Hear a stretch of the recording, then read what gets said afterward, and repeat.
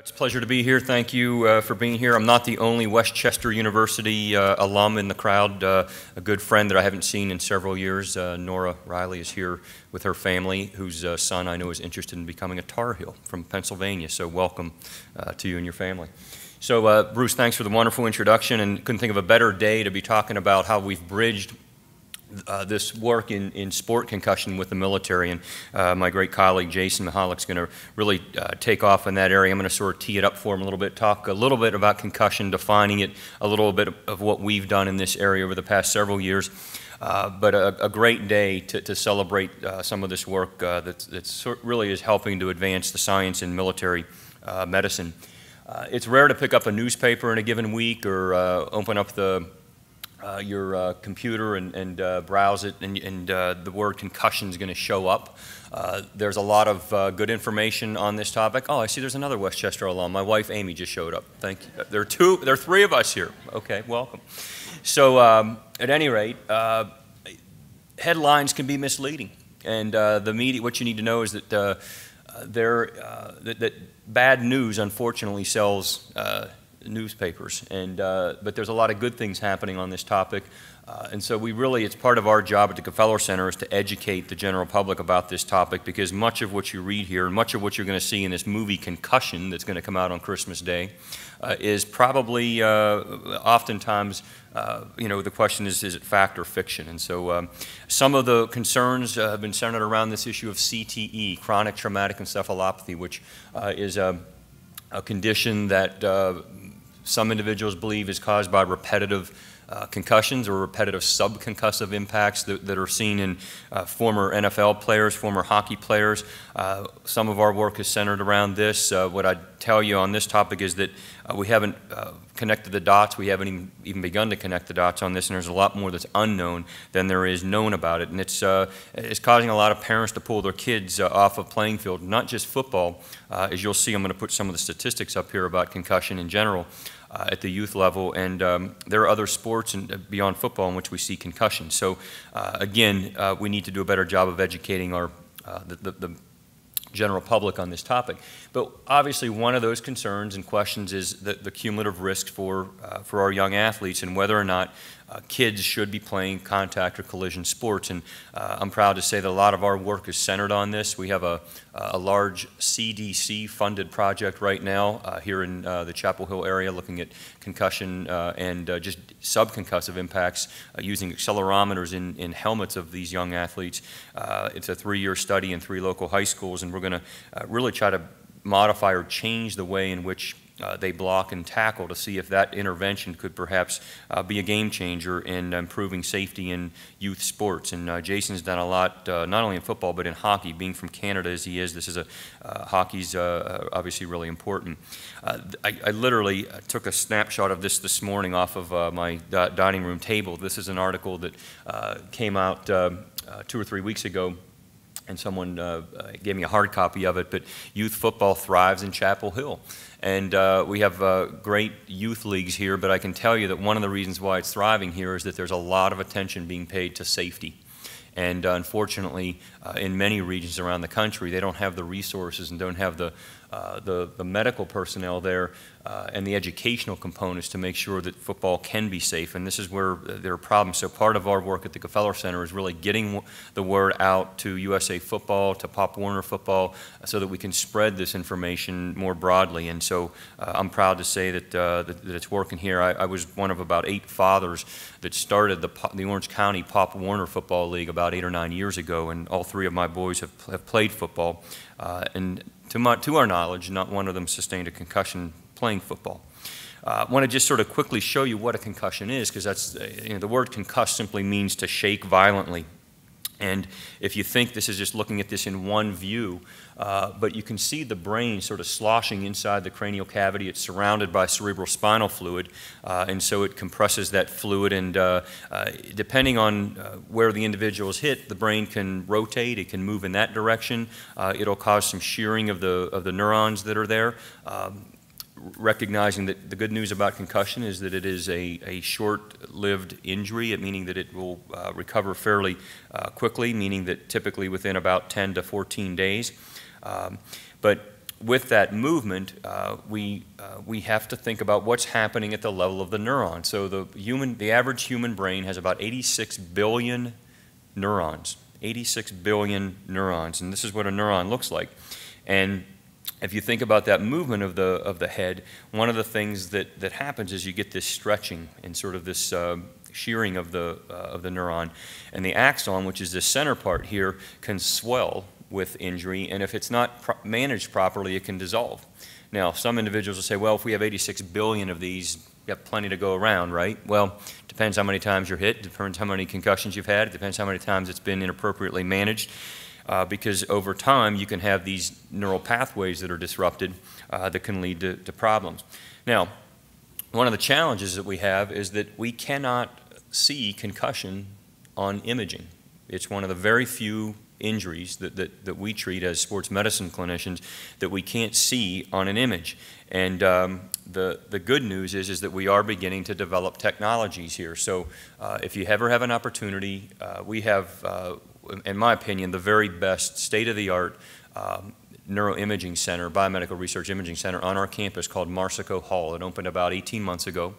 Uh, and we have uh, the most sophisticated uh, imaging uh, capabilities there. And some of the work that Jason and I are doing uh, is to gather baseline information on individuals before they've had an injury and then to image them post-injury. This is a big project that's funded, and Jason's going to talk about it, so I'm not going to steal his thunder, but it is funded by the Department of Defense and the NCAA. They've partnered on this grant.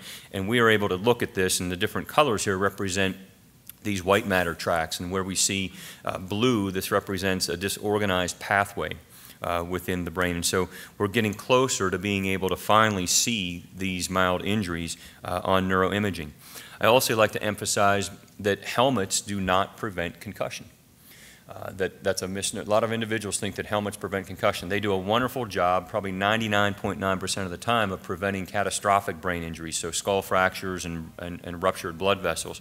And uh, Jason and I have spent a lot of time working with colleagues like Dave Halstead here, who is a, uh, a, a biomechanist and runs a research lab out of ten, down in Tennessee, right outside of, outside of the University of Tennessee in Knoxville. And uh, Dave's a, a, funny guy, a character probably to say the least. And um, he talks about the material that we really need uh, to prevent both concussion and to prevent uh, these catastrophic brain injuries. The material that, that, that we need to build that helmet is called unobtainium. Uh, and so uh, we, through our advanced materials work that we're doing here, our new Department of Applied Physical Sciences and Biomedical Engineering, I'm going to prove Dave wrong someday. We will uh, find that material to be able to do this uh, so that J he can no longer put that uh, joke out there. But at any rate, uh, some of the work, and, and you can see Jason here setting up a, uh, a, helmet on this thing. It's called a linear impact device, and uh, this thing shoots off at, we can set this at just about any velocity uh, at any location on the helmet, and it sits on this uh, uh, mechanical head form here that has these accelerometers placed at the center of mass of the head. And we can measure the ability of that helmet to dissipate or mitigate the forces that are driven into the, to the skull and ultimately to the brain to try to mitigate that movement that I had shown you earlier. So some of our work, I think, will eventually lead uh, to a better helmet. Uh, fortunately, we're doing this better today than we did in 1912 uh, because this is how they used to test helmets uh, uh, back in the day. So uh, we've come a long way. and just to sort of illustrate this for you, um, that even with a helmet on, you'll see there still is movement of that brain. And so you get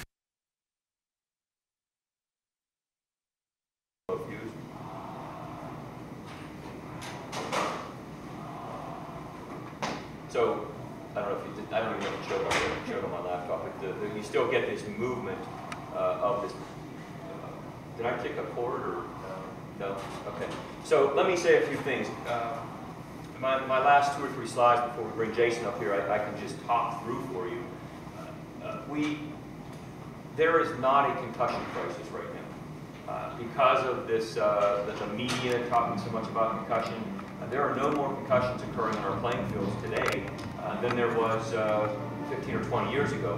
What I, what I can tell you is that because of the, all 50 states now have a state concussion law. And those state concussion law, they, uh, all of them require education. they require no same-day return to play after that concussion's been diagnosed, and they require that the athlete be managed properly and return to play only after they've been evaluated by uh, a physician or clinician with training in concussion management.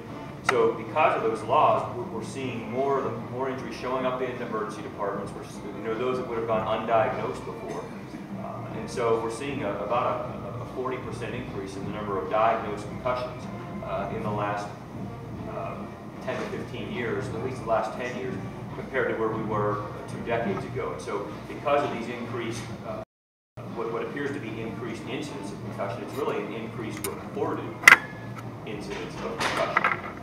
Uh, and so I I always caution people whenever they see this spike in these graphs that show, oh my goodness, look how many concussions we had today. Uh, it's really due to the, the better awareness around the, the injury and, and the, the job that the media has done, uh, really to help. Uh, uh, because media, I, I was criticizing them earlier for having over sensationalized this in some regards, but uh, with, with getting the awareness out around this topic, we've done a better job of getting more uh, athletes to, to be seen in emergency departments, et cetera.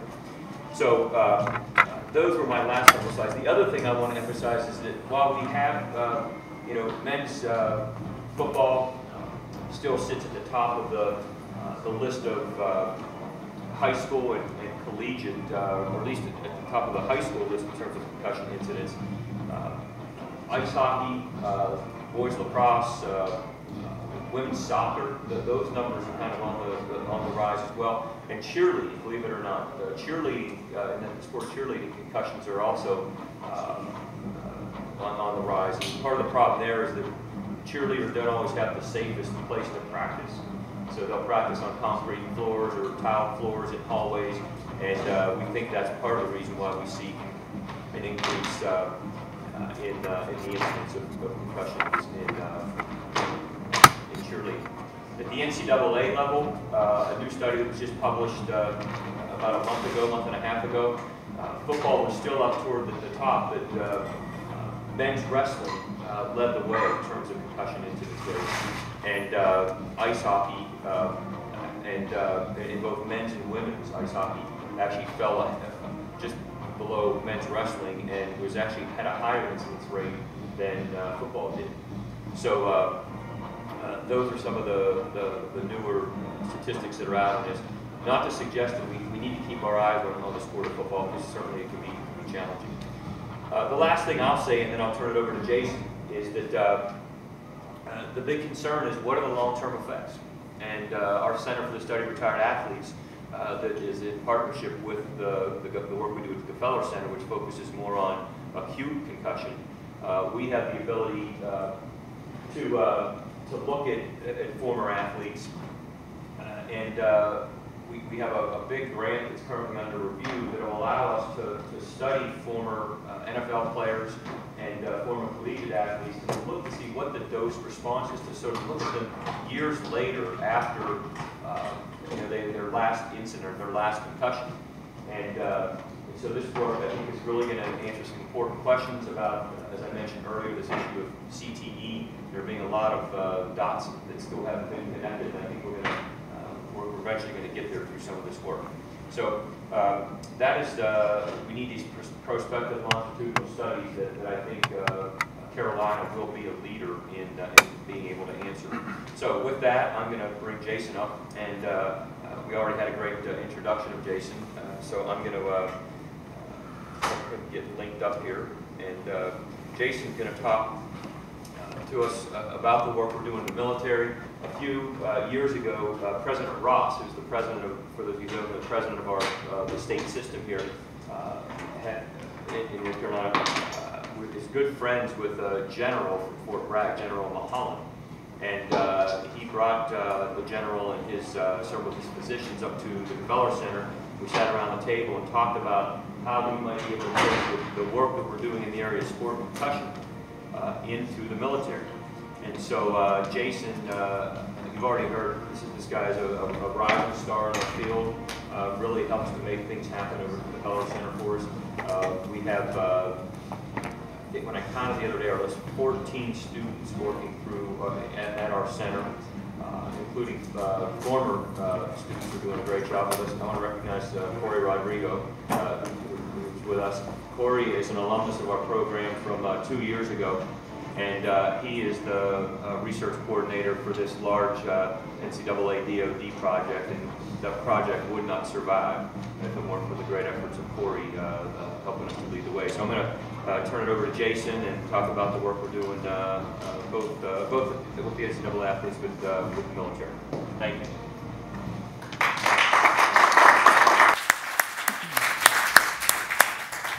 Thanks, Kevin, and thanks for the great work for the AV folks. Kevin tried to obviously sabotage my talk, and, and, and, and so they came through and fixed it for us. Um, so it's a fitting day today for Kevin and I to be giving uh, this uh, Tar Heel tailgate, uh, given that it's Military Appreciation Day today. And so uh, Kevin's spoken a little bit about the foundational work that we've done in the sports field, um, and, and, and it's a nice carryover into the military work that we've been doing. Um, for the last 15, 20 years, Carolina has been a leader in athletic concussion research, and, and Kevin's been a pioneer and at the forefront of that. Um, and in, the last three or four years, we've been working with some Special Operations Forces uh, uh, programs down at Fort Bragg. So from a, from a geography standpoint, it's very close. They're an hour and a half away. And so they came up and met with us and, and explained their plight. And my daughter just walked in. Um, and their uh, plight is that they have some very highly skilled operators. Uh, the military invests a considerable amount of money into the seven figures to uh, have one of these operators be to the point where he or she is at. And when they're hurt, it's, it's, it's expensive. We're not talking about Army at large where there's thousands of people that get deployed, and if someone's injured, there's, there's still thousands of others to accommodate. We're talking about smaller uh, teams of strategic um, operators that when one goes down, that, that could be 20 or 40% of the force that is going on any given mission. Um, so from our standpoint, we wanted to take the information that we've been capturing in the sports environment and relate it to uh, what we're seeing in the military environment. One of those initiatives is the NCAA DoD Grand Alliance that Kevin alluded to. Um, what you're seeing here is kind of another graphical depiction of what concussion is. We're seeing the head kind of bounce around inside the skull. Uh, typically in a sports environment, we see this being a sudden deceleration of the head. So think of a football, we're going to go see the game later. Uh, think of those head-to-head -head impacts where the head is traveling with the body down the field at some velocity, and then it comes to a sudden stop because someone has, has struck the head. Well, the brain inside is the passenger on the bus that slams on the brakes. They will still continue to kind of bounce forward and backwards. And that's what we're seeing with, with concussion. The injury is quite pervasive from a clinical standpoint. There's not just one cluster or one thing that we look for. You can see here ranging from, from cognitive abilities to balance to symptoms to, to previous injury history. There's, there's a whole myriad of components to traumatic brain injury that, that we don't fully understand, but we have certainly built uh, quite a good amount of knowledge base here at Carolina and with our colleagues across the country. What we're trying to achieve with this NCAA DoD Grand Alliance project is to get a better idea of what is happening to the athlete's brain over the course of injury and over the course, more importantly, of their recovery. And perhaps one of the issues that we're seeing with, with these long-term um, cognitive declines if they are caused by head trauma. We still don't know that answer yet. It's going to take many years uh, to, to address that. But the idea is, are the instruments we're using now to identify and help us manage these injuries sensitive enough so that when we say, yes, they have cleared and they appear normal on these diagnostics, that they actually, in fact, have fully recovered from the injury. From a physiologic standpoint, something underlying going on in the brain. And our instruments right now, the ones that we use today, aren't capable really of giving us the information to the level of the axon or the neuron that Kevin was talking about. It can give us kind of big picture ideas, visual memory is impaired, verbal memory is impaired, balance is affected, but it's not giving us the exact information over what part of that information superhighway in the brain is most impaired following that injury. Um, UNC is one of a few sites that has been hand selected through this NCAA DoD Grand Alliance, in part because of the sophistication of the facilities, and Kevin alluded to the brick at, the, at, at Marsico Hall. Um, so we're doing neuroimaging, we're doing uh, biomechanics, so we're actually measuring forces of what's occurring at the level of the head of our athletes while they participate in competition.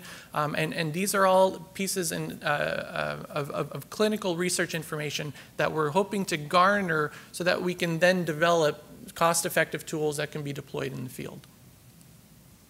It's a very ambitious program, and Kevin mentioned Corey's involvement in it. Again, without Corey's help, this, this could not be made possible. Uh, we test our athletes a lot following an injury. It's a very ambitious uh, pr protocol that, that we put them all through, and I think Kevin and I would be remiss if we didn't thank our athletics department and the involvement of the teams and the athletes in the work that we do.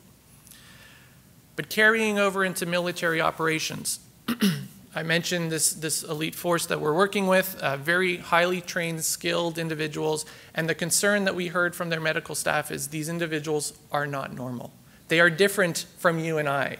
And what is unique and challenging for them uh, is, is, is beyond what we are physically and physiologically capable of doing. Um, and there are issues that even when impaired, the standard testing that they use, that we use with our athletes, are still showing these soldiers and these warrior athletes, as they phrase them, in the 95th, 96th, 98th percentile while they're impaired. But they're not right. And so for us, not right means we can't focus in the classroom, or maybe we don't see the pass as effectively. Not right for them is the difference between a hostage and a hostage taker in an operation that they might have to endeavor in.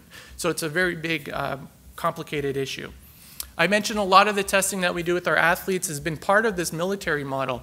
Uh, we do neuroimaging over here at the BRIC in Marsico Hall, and I'll show you some, some, some graphics related to that. We also do a full plasma serum biomarker panel. The idea here is that maybe we can identify something where it could be a quick litmus test. We could, we could do a little pinprick on a finger, test the blood, and then say, yes, this person with some level of certainty is injured. We're not quite there yet, but this is the idea behind the uh, biomarker work that we're doing.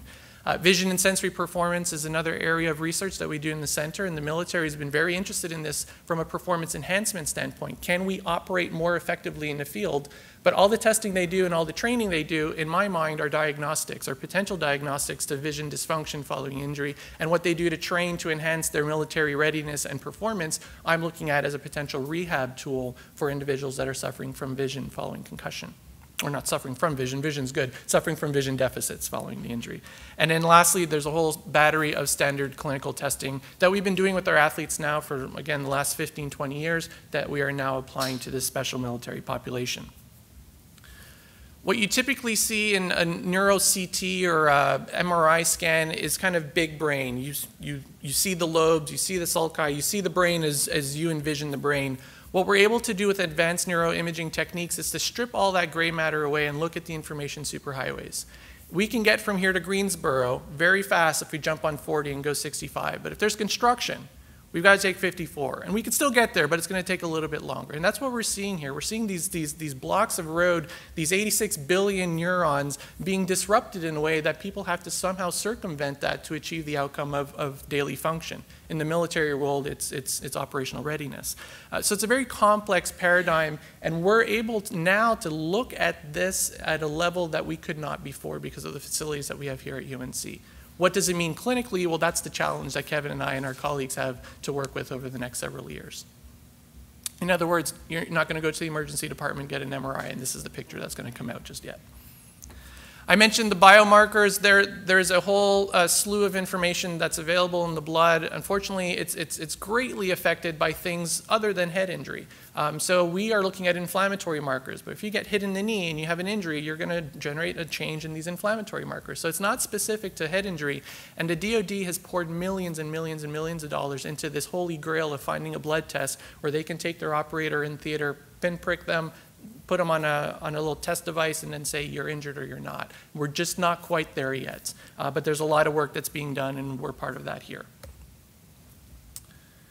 So I mentioned the injury is quite pervasive. It affects many domains, many, many functions of uh, uh, brain, brain activity following injury. And then one area that we haven't really included over the last decade or so, but we're starting to now is this notion of vision. Um, Nike had developed a platform uh, that they use to take their elite athletes uh, out in Oregon and make them better by training the vision system. Eyesight is how well you can see. Vision is your ability to take that visual input, process it accordingly, and react on the field or in theater. Um, so very um, um, uh, popular among professional athletes and military. Um, and then Nike, for whatever reason, uh, their board decided we are a footwear and apparel company, and so they backed out of the tech game. At which point, a startup company that I'm involved with has kind of spun off the technology uh, to start looking at it again in the performance space. And, and my area of interest is can this be used as a potential vision diagnostic and rehab tool? Why is vision important? It's because we want people to be able uh, to observe their surroundings. What you're going to see here is in the thicket in the middle, uh, there's a, um, an enemy combatant that these operators are trying to hunt down. The thing moving very quickly towards the middle is a dog, um, has sniffed out the target. The operators are moving towards it. Again, they don't see it because it's, cause it's, cause it's a thicket. The one that's closest will engage. You'll see a couple flashes. That would be small arms fire. Right now, he falls back, stands up, gets back into it, and then the, an explosive goes off. And so what this factors into are, are, are, several levels of military readiness is being able to see and being able to parse apart what is going on in the bush. Is it, is it animal, is it creature, is it enemy combatant, and then re react and respond accordingly. And then it also ties in this notion of blast, which we don't have to worry about on our football fields and our soccer fields, but it's another component of head trauma that the military does have to worry about. So I'll talk a little bit about that. Uh, first, this is our, our laboratory experiment. We, we, we, no, we don't do animal testing in our facility, um, but we do use a number of sensor devices, and, and we've been using them here at UNC for quite some time the device that you see on the top left is instrumented in about 50 of our football players. We've been working with our football program now for about 11 years. Um, some of the other smaller devices are helpful because we can put them and use them with athletes that, that don't wear helmets, right? Concussion isn't just a football problem. It happens in soccer, it happens in wrestling, it happens in lacrosse. Um, some of them are helmeted, some of them aren't. And so we need capabilities to measure these head impact forces uh, on the field. Again, what we see typically from a concussion standpoint in an athletic population is a sudden deceleration, typically a head impact, but it could be a, a body check or a tackle to the torso that causes this kind of whiplash mechanism. Uh, we see it a lot in motor vehicle crashes and, and, and, and so forth. I mentioned blast being unique to the military, and so the operators that we work with, uh, every time they go out and train or they deploy in theater, they are wearing three of these blast gauges on their person. Um, and these blast gauges are designed to capture uh, blast waves and to record what magnitude of blast that, or that athlete, that warrior athlete was exposed to. Um, there's a light that'll trigger a red light, a yellow light, a green light based on uh, kind of threshold levels of blast exposure. They don't go off until a medic at the forward operating base pushes a button on this device for obvious reasons. They do stealth operations and you don't want them having lights flashing off in the middle of the dark. Um, so the uh, little uh, sensor dome is, is what captures the blast. And then based on the information, there's one on their helmet, one on their torso, one on their back. We're able to kind of construct where the wave's coming from and the magnitude at which the wave struck them. So one uh, example here, and I'm, I'm, borrowing slides from, from colleagues at DARPA that have funded some of this work over the last year. Um, you can see there's an um, armored uh, vehicle here driving down. There's, there's two operators, one on either side, sitting on the exterior. There's a couple passengers inside. And the big burst you see underneath that front right wheel is an IED that this vehicle drove over. The benefit of working with this group of operators is there's, there's eyes on them all the time. Right? There's, there's drones all over. Some of them are doing lethal activities, others are doing surveillance, and they have a lot of surveillance here. And based on the surveillance and, and post-blast interviews with the operators, uh, DARPA is able to kind of create what that scenario looks like. And I just want to give you an example of what this blast on this screen would look like if you were driving in a Humvee.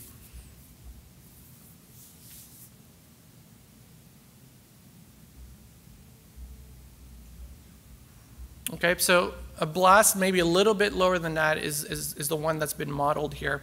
And what we're able to do with the blast gauges, you can see some of these, these individuals are green, yellow, red. This, this describes the level of blast exposure that particular warrior was exposed to in that scenario, and the one that, that, that we're talking about here. So the individuals inside, whoops, there you are, Jenna. Um, the individuals inside the vehicle um, are green. They, they were sheltered by the vehicle that they were in. Um, this individual here on the bottom right, you'll see has a lot of red on their lower leg, and that's because their leg was hanging out of an open door. Um, and so if that door was closed, we can now kind of report back to it. We're, we're doing behavior modification with our athletes. We could do this with, with these folks. Close the door while you're driving, right? You could have saved your leg. Um, the individual that's sitting on the exterior of the vehicle on the back left, which was kind of the diagonal opposite the blast, um, appears fine, not a considerable amount of, of blast exposure. Uh, and the one on the right, you can see there's a lot of exposure to the back. Um, there's, some, there's some carry forward to this in the sense that uh, blast doesn't only occur from IED. Blast occurs from firing small arms. Blast occurs from firing heavy ordnance. Blast occurs from breaching a wall where there's no door and they want to create one. And who gets exposed and how they get exposed really affects the operational readiness of these operators. So that's all part of this bigger picture of, of identifying what are the clinical norms and going back to these people are not normal as, as, as, as we know them. So how do we develop clinical norms that can help them manage brain injury when they occur? But then also importantly, how can we use this information information that we're collecting daily through their training and their deployments to, to make sure that when they are operating that they are doing so in safe environments and so that they're safe in the process. So it has a lot of exposure or a lot of implications, not only to individual soldiers, but kind of fighting forces in general. Um, and one of the things that I'm really proud about, and I know Kevin is as well, is, is the work that we do, even though it's at a, at a fundamental level, and we have great resources here at Carolina to help us with our work, the end goal is to put it in the hands of people who will actually use the research, right? So having it published in an article and sitting in an archive on the you know, seventh shelf of the movable uh, bookcase doesn't really help us. Um, we we want to put information in the hands of parents and players and coaches. And one thing that, or one project that we're doing is, is, is this behavior modification or the BMOD study, where we're using that helmet technology at local high schools we're using that information to identify athletes that we feel are hitting with an at risk profile. In other words, those who are getting hit harder than their teammates and those that are hitting with a high frequency of top of helmet impacts, which is uh, illegal in football, and so we're trying to coach that out of them. And we're using this information, and, and originally the idea is that we would intervene at the level of the athlete, but we're actually intervening with the coaches. We're giving them the tools that they can identify athletes that are playing with at-risk technique and, and, and, and help to coach it out of them. So that's part and parcel of what we're doing here. Again, we're putting our data and our research into the hands of coaches and parents and players to improve outcomes for those kids. Um, Bruce mentioned a smartphone app earlier. Uh, we know we can evaluate these injuries clinically. We have a lot of experience doing that, but it's, it's very daunting, even with the level of experience that Kevin, myself, and our colleagues have to manage some of these injuries, and parents just, just don't know. Um, and so what we did was we, we created this smartphone app where the parent can kind of walk through it and say, was there an impact, yes or no? What are some of the signs and symptoms to look for? It'll alert them to red flags that would warrant a 911 call, uh, an immediate transport, or gives them information to say, pull the athlete out, send them to the physician, here's the information that you have. One of the key benefits to the um, application is usually a parent's not at a practice. And so the coach says to the athlete who's injured, tell your mom that you felt like this when you had this impact. Well, of course, well, any teenage kid's going to forget that and not tell their parent anyway. But it's like that game of telephone where you whisper something in someone's ear and it goes to the next person, it goes to the next person. And by the time you see your primary care physician three, four days later, that message of what happened on the field to what, what you're telling that doctor isn't carrying over. So what we can do with the smartphone app is record all of that, trigger off an email, it creates a report so the physician can look at this report and say, this is how you felt at the time of injury, and this is how you felt since then. And that's very important information as they try to direct the care for that particular patient. We also intervene at the level of the clinician, and Arts and Science has been very gracious to, to help support our uh, symposium that we hosted last March. We hosted every other year. Uh, the athletics department has been a great supporter by allowing us access to the Blue Zone for this venue. Um, and and, and we've, we've had 300 people, 300 clinicians whose sole responsibility is to manage these types of injuries in a clinical and a field environment, learn from us and the experts that we bring in from across the country and across the world. Uh, so we've been very fortunate to uh, innovate and socially entrepreneur in that regard. So at the end of the day, we want to identify what are the predispositions to sports injury and some of these chronic long-term issues that athletes may experience uh, we want to modify behavior and we also want to change culture. And changing culture isn't as simple as, as, as you sitting in this room and you're going to go off and change the way you behave. I hope I've been that effective, and I think Kevin hopes he's been that effective. But culture change takes a long time. Kids didn't wear bicycle helmets 20 years ago, and they do now. It takes a generation to change that culture. And we're trying to figure out ways that we can expedite the learning curve, if you will. And there's great colleagues in our center that do that. Uh, but I think that what we do well here at UNC and at the at, at the Gfeller Center is that innovative science can be a game changer. And we've done things over the last decade and a half to, to innovate our science into things that society can use every day. Um, and this is our team of game changers. And I think Kevin and I would be remiss if we didn't acknowledge them. And uh, Corey's in there. He's in the top right looking dapper in his shirt and tie. Um, so with that said, thank you for your time. It's a beautiful day. I was almost tempted not to come, uh, so, I, so I thank you for being here. Um, and uh, I think Kevin and I would be more than happy to answer any questions you might have. Thank you.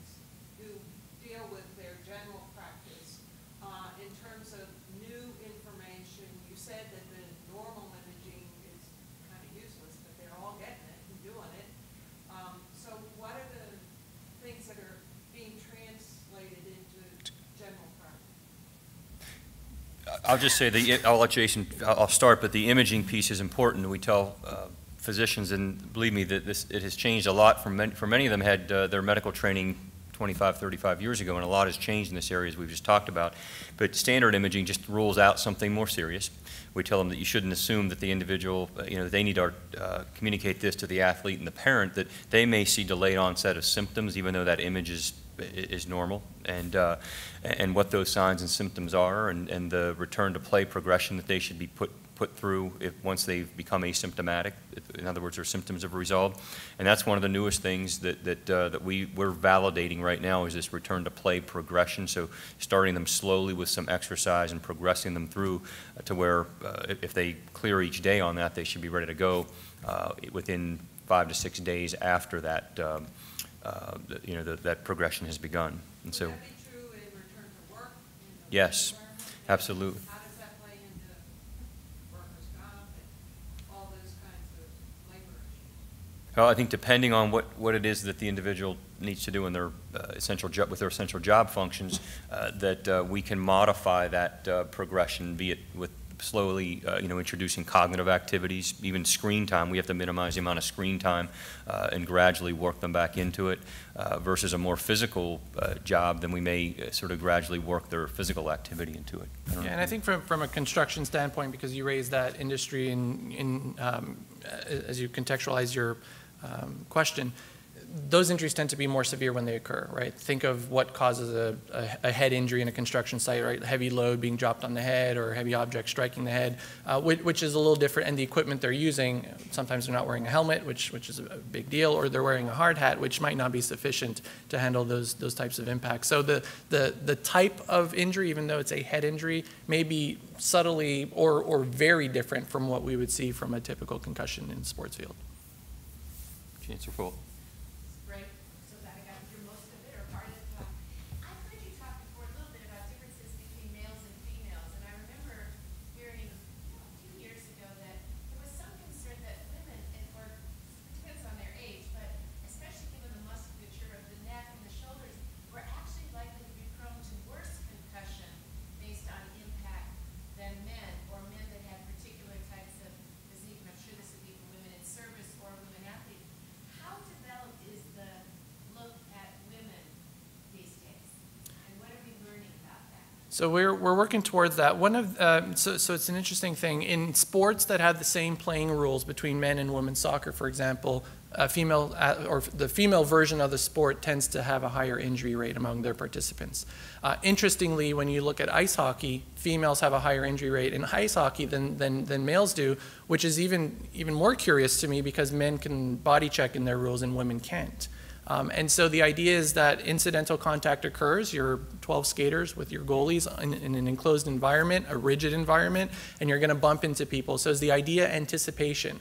Is the idea that when you bump into someone, you don't expect to bump into someone because it's not a, a body collision sport, that, that the neck muscles aren't firing. Maybe it's less of a function of, of weak and more of a function of not firing it because you're not anticipating a collision.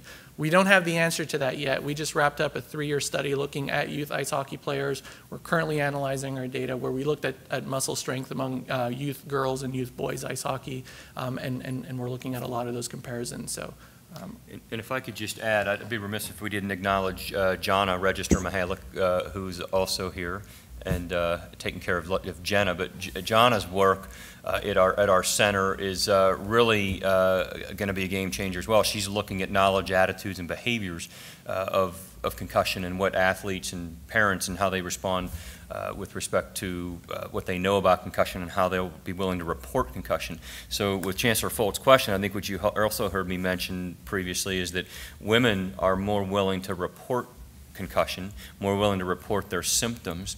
Uh, My wife would say, based on a sample of four, uh, three boys and a little girl, that girls are more honest than boys. Uh, I have no idea if there's truth to that, but uh, in our small sample, that seems to be the case. And so th- that we're challenged by that too, to really know, are women or girls more, uh, truly more predisposed to it and their symptoms last longer, or is it just that they're willing to report it and the, the boys are hiding it? So John is going to figure that out for us eventually. So for women in the service, do they know that about these impact, these concussive forces? Is there much work looking at um, women's soldiers? Yeah, so the, the population that we work with is very limited from the female side of things, uh, just, just given the history of the unit that, that, that we work with. Um, we have evaluated a number of females from a performance standpoint. Um, they've done a really nice job of recruiting these women because they perform at or above what we've seen in the male counterparts. Uh, from vision, sensory performance, they seem to be just as resilient to previous head trauma as their male counterparts. Uh, but uh, again, we are dealing with a very biased uh, elite group of operators. How that permeates into Army at large is, is kind of the next frontier, and it's what our group that we're working with wants us to do. They, they want us to use their operators, captive environment, on the other side of the fence and then take that information and apply it so all of the armed forces and armed services can benefit. I think there's a question over here. Just on, uh, more adoption of concussion protocol, if you look at, you mentioned Pop Warner, all, all the way to the NFL, is there, um, a strategy to, to accelerate that, more to the culture change that you're, you're obviously trying to generate um, and accelerate that adoption? Because I, it was interesting, Wes Welker's coming back, we have, watching the ESPN show with Edelman getting, getting the Super Bowl and coming back, so just his comment on the adoption strategy, I guess. You want to talk about the NCAA? I- Yeah, I think it's been slow, uh, but uh, I think people recognize that the sport of football is under sort of this microscope right now. Um, In fact, this will be the topic of, I think, uh, uh, 60 Minutes tomorrow evening. We'll be featuring this, and our work is supposed to be featured in that, in that show if it airs as it's planned. I know that the, uh, the Paris uh, situation uh, may take precedent, but at any rate, there- it will be there. And we've talked about this in there, that this uh, culture change, both at the NFL and the NCAA, there has been a trickle down. We know that uh, there are rules changes that we've helped to institute both at the NFL and the NCAA level with the kickoff rule. Uh, I sat here in Chapel Hill with, uh, I represent the NC, or the ACC on their concussion uh, committee, and uh, John Swofford, the commissioner, came over for lunch a few weeks ago, and we were talking about this, and we actually talked about the possibility of changing the punt, because we see a disproportionate number of concussions on the, the punt as well. So we've, we've made a lot of improvement with the kickoff. So uh, we may see a, a change in the punt as well uh, soon. So, but uh, there, we need, the, the culture change has been too slow, in my opinion. So, What are the differences in, uh, in neurophysiology between people who've had concussive events versus some of the, the other neurological diseases like Parkinson's? Because, you know, the- Yep. you describe the symptoms of concussive events, Parkinson's patients, for example, and maybe other types of dementia, seem to have the same kind of symptoms. They do, and, and so what we know is that uh, there's a high, uh, in, in boxing, for instance, uh, we see a high uh, incidence of, um, of Parkinson's in, in, in boxers, uh, as well as in some of the retired players. We're seeing it now in off, some offensive linemen who played many years, and so the question is, what is it about those repetitives, uh, repetitive subconcussive insults that we see uh, in, in those particular athletes? Uh, Parkinson's has been understudied, in my opinion, uh, with, respect to, in our large database of about 3,300 former NFL players, surprisingly, we see a small uh, incidence of, of, of, of cases after the age of 50 of Parkinson's relative to mild cognitive impairment, which involves more memory and, you know, as opposed to the motor changes. So I think we have, we, we have to better understand it, and I, I do think that there is a, a link to the repetitive subconcussive just based on the boxing uh, literature and the linemen in football. But uh, we haven't been able to fully connect the dots, similar to what we have with, you know, as I mentioned earlier, with CTE. Well, thank you. This has been, uh, been, been great. Uh, I hope uh, it's a great day for the Tar Heels. It will be a great day for the Tar Heels. And uh, I, I- we really appreciate you being here. So, Thank you.